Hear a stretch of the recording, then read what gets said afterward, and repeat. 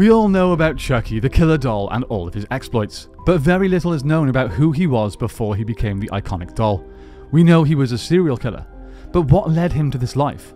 What was his involvement with voodoo? Why is he such a rotten prick? Well, in this video we'll explore the horrifying backstory of Charles Lee Ray, the man who would ultimately become the evil, yet often funny slasher we know as Chucky. We'll uncover every detail about his life before he inhabited the iconic Good Guy doll. Let's get into it.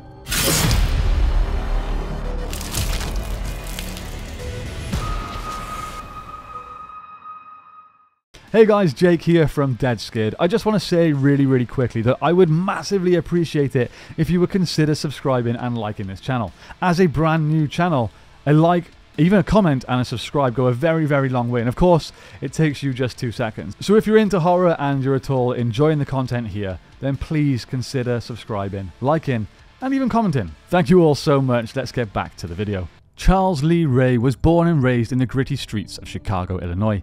His early life was marked by adversity and hardship, elements that would shape his twisted persona. Born into a broken and impoverished family, Charles experienced a tumultuous childhood that offered little in the way of stability or happiness. Growing up in a dysfunctional household, Charles faced a barrage of challenges. His parents' tumultuous relationship was marred by constant arguments and substance abuse, creating an unstable environment for him. The absence of a positive role model and a lack of emotional support left young Charles emotionally scarred. Charles's experiences at school were equally troublesome. His introverted nature and social awkwardness made it difficult for him to form connections with peers. Bullied and ostracized, he withdrew into a world of isolation, nurturing a growing sense of bitterness and resentment.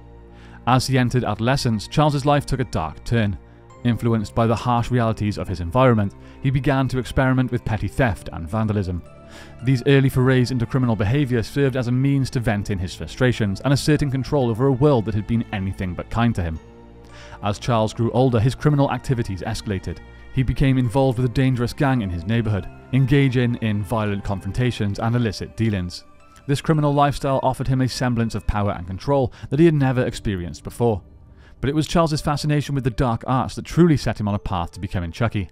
He delved into the world of voodoo, gaining knowledge of forbidden rituals and incantations. This newfound expertise would play a pivotal role in his ultimate transformation. As Charles grew older, he delved further into the life of crime, becoming a notorious and cunning serial killer. His notoriety stemmed from his expertise in voodoo and dark rituals, which he used to his advantage. Charles Lee Ray was not just a common criminal, he was a master manipulator who reveled in the suffering of his victims. Now, Charles's descent into the supernatural began when he found himself cornered by the police after a robbery had gone wrong. Desperate to escape capture, he sought refuge in a toy store, where a life altering encounter took place. Mortally wounded with no way out, Charles used his knowledge of voodoo to perform a ritual and transferred his soul into a good guy doll, forever changing his destiny.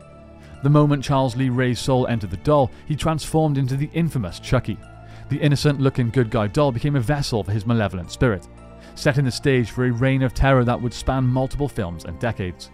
As Chucky, he embarked on a relentless quest for revenge against those he believed had wronged him. His small size and unassuming appearance allowed him to infiltrate unsuspecting households, where he would reveal his true, homicidal nature, leaving a trail of violence and chaos in his wake.